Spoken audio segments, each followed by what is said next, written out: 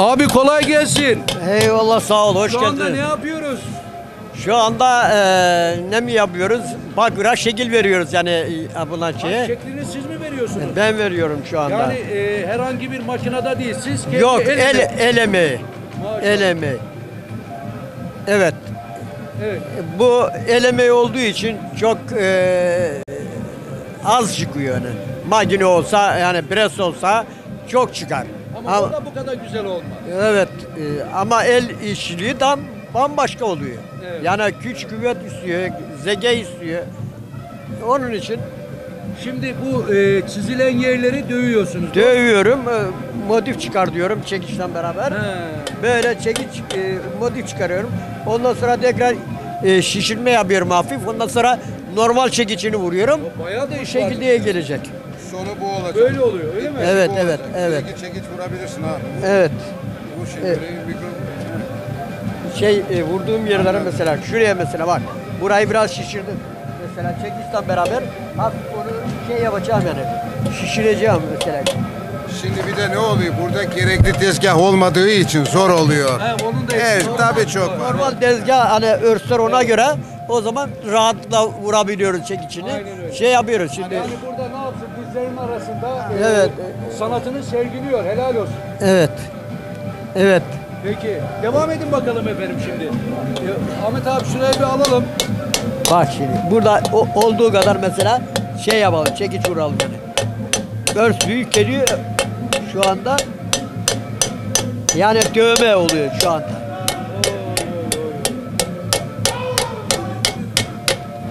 Harikasın. Emeğinize sağlık vallahi. Teşekkür ederim. Çok teşekkür ediyorum. Sağ olun. Efendim görüyorsunuz işte el emeği yani bakırcılık çok önemli. Ustamızın ne kadar hassas olduğunu görüyorsunuz. Efendim Yeni Kapı'dan selamlar. Evet Trabzon Konfederasyonu'nun organize ettiği Bahar Festivali'nde Karadeniz'in starı çok değerli Hülya Polat'la beraberiz. Sizi burada görmek ne güzel. Nasılsınız? Çok teşekkür ediyorum. Çok iyiyim Allah'ıma şükürler olsun.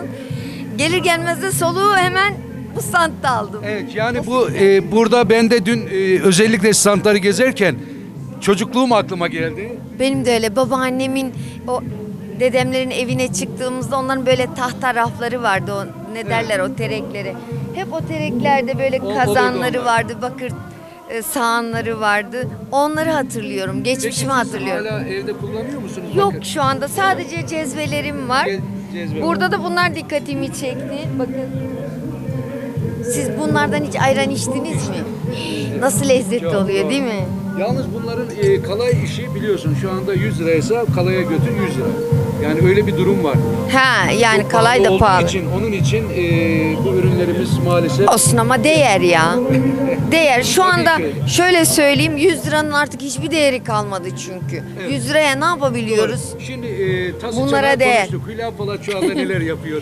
Şöyle bize bir anlatın. Aa, Hülya Polat neler yapıyor? Çok yoğun. Bu aralar inanılmaz yoğunum. Çünkü e, aylardır böyle e, yeni şarkılar, eski şarkılarımı yeniden böyle bir ele alma durumları. E, onlarla haşır neşirim. Hala stüdyoda, iki ayrı stüdyoda e, şarkılarım e, hazırlanıyor. E, Fırsat buldukça okuma yapmak için stüdyoya giriyorum. Fırsat buldukça klip çekiyorum. Bir klibi İstanbul'da çektik.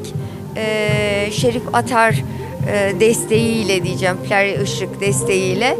E, Selvi Boylum isimli güzel hareketli bir türküye çektik.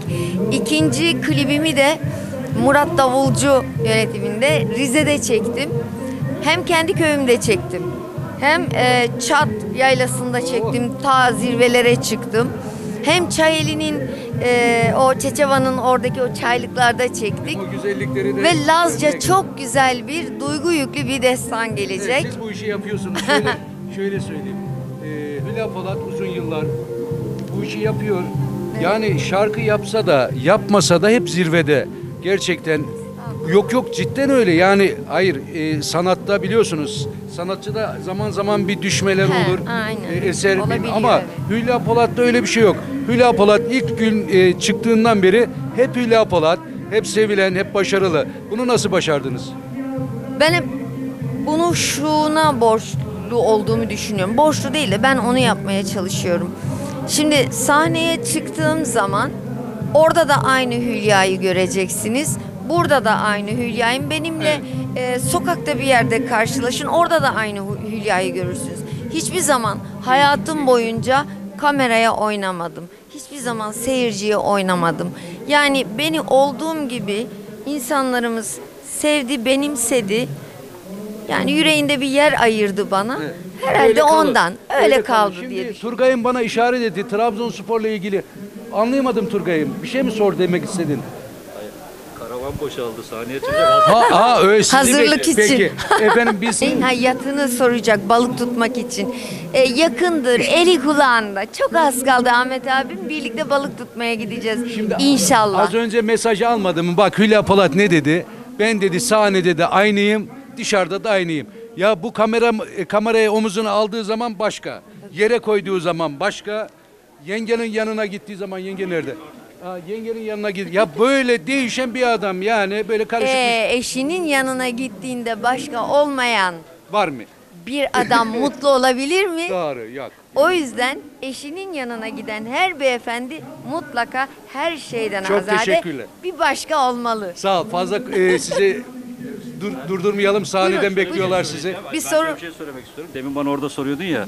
Ben bu camia içerisinde, Trabzon Trabzonspor camiası içerisinde Allah'a ne kadar şükretsem azdır ki bana böyle bir abla nasip etti. Ne güzel. Benim ablam yok. O benim ablam oldu. Bizim böyle bir ilişkimiz var onunla. Abla kardeş ilişkisi var. Ben onu burada da hani kamera uzunda da söylüyorum. Allah onu bana nasip ettiği için ben çok Evet. şükrediyorum. Biz onu hep e, Hülya Polat gerçekten her yerde öyle. Çok teşekkür ediyoruz. Murat Bey e, ev sahibi olarak ben de Hülya Hanım'a çok teşekkür ediyorum. O bir sanat icra ediyor. Biz de bir sanat icra ediyoruz. Evet. Biz de gelecek toplumlara bir şey bırakmak için uğraşıyoruz. inanılmaz Hiç güzel. farkımız yok. Ahmet Kesinlikle abi öyle. lütfen buraları çek.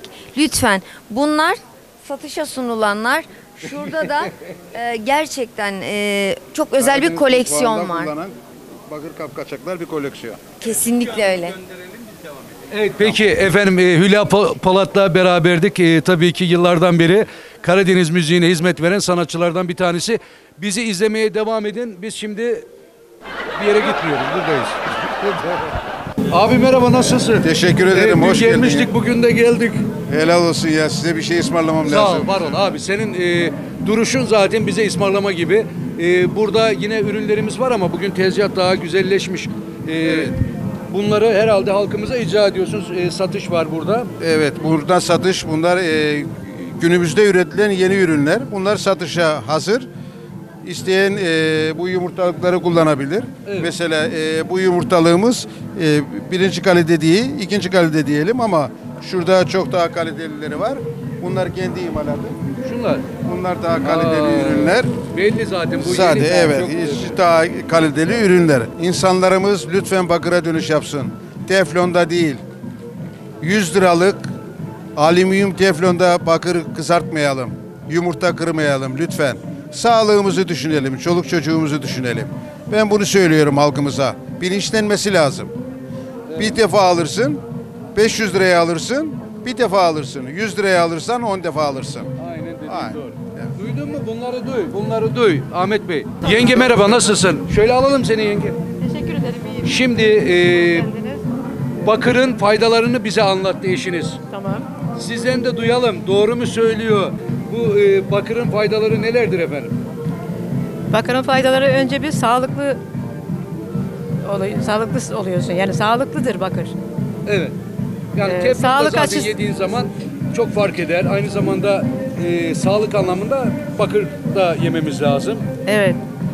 Ee, soğuğu soğuk, sıcağı sıcak tutar. Evet. Daha çok e, katkı yapar. E, mesela bir tencerede e, pişen yemeğin lezzeti ve tadı daha başkadır. Hele şunu da söyleyeyim. Mesela odun ateşinde bir yemek pişirdiğin zaman aheste aheste pişer. Aheste aheste pişen yemek daha lezzetli olur. Ama şimdi tüpte yapıyoruz onu. Tüp ne yapıyor? Aynı şiddetle, aynı hızda devamlı yanıyor. Yandığı zaman ne yapıyor?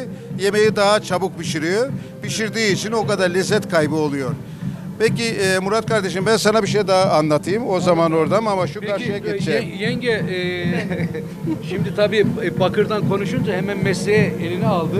E, çok teşekkürler. Bir e, ifade etmek istediğiniz başka bir şey var mı size? Da bakırın ustası o. Evet. Evet abi Şimdi, dinleyelim.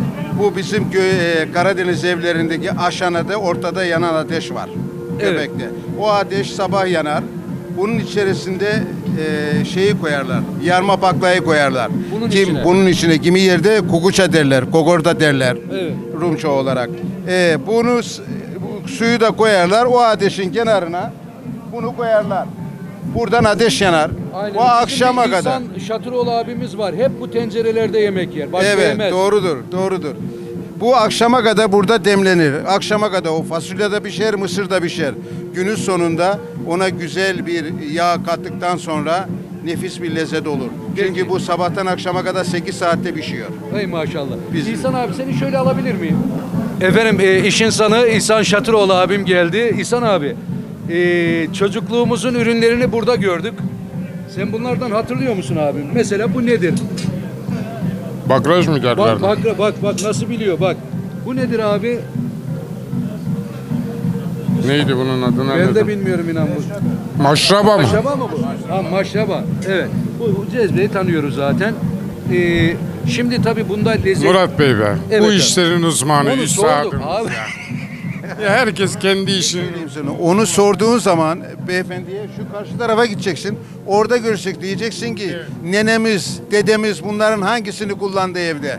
Aa, Evet bunların Var mı? hepsini ben hatırlıyorum. Hatırlıyorum. Hepsi de Mesela bizim evde hangisi? mevcut. Bırak beni bir Peki İhsan abi bugün ikinci gündeyiz. Ee, yeni kapıda. Ne? Nasıl bugün atmosfer? Neler söyleyeceksin? Daha iyiye gidiyor işte günden güne daha güzel oluyor. Oluyor. Yarın daha başka olacak. İnşallah daha güzel. Ama bugün Bekliyoruz duydum ama. ki bensiz yemek yemişsin abi öyle duydum. Bensiz yemek yemişsin.